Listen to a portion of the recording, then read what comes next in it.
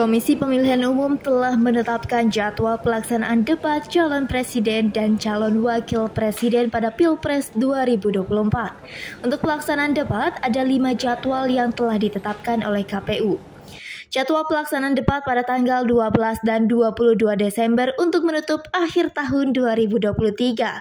Kemudian dilanjutkan pada 7 dan 21 Januari dan terakhir tanggal 4 Februari 2024. Untuk tempat detail pelaksanaan debat hingga kini KPU belum memberikan keterangan pasti.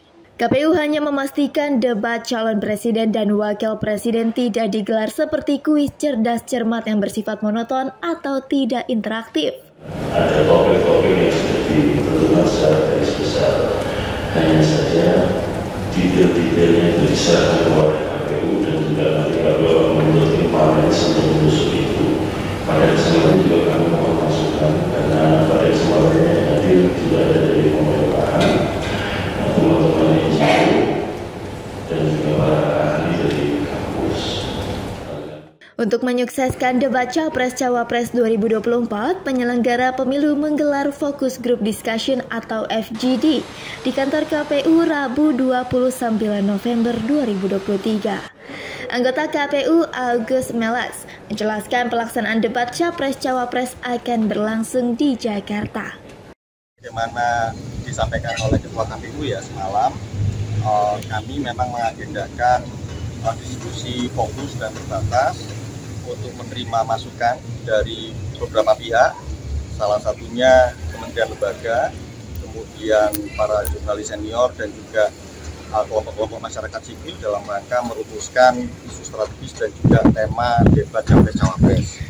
Saat pelaksanaan FGD, KPU menerima banyak masukan terkait pelaksanaan debat Capres-Cawapres, termasuk soal penajaman pertanyaan untuk subtema. Tadi kami di forum itu sudah mendapatkan banyak masukan, baik dalam rangka penajaman atas tema-tema debat, termasuk juga sub-sub tema yang misalnya menjadi uh, paling relevan ataupun mutakhir, termasuk juga kami mendapatkan masukan bagaimana kemudian format debat yang uh, layak untuk diselenggarakan oleh KPU KPU juga memastikan pelaksanaan debat akan melibatkan stakeholder terkait. Pelibatan itu untuk menjaring sebanyak-banyaknya usulan yang memang diperlukan.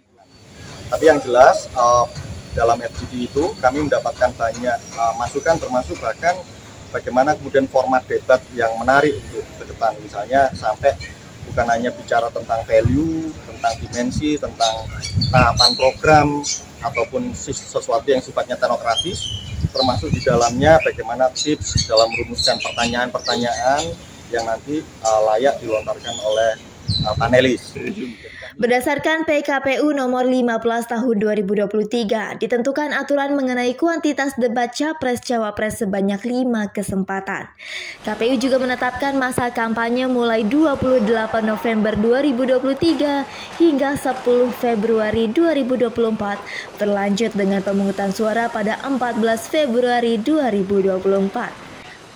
Bambang Susapto melaporkan untuk Apa Habar.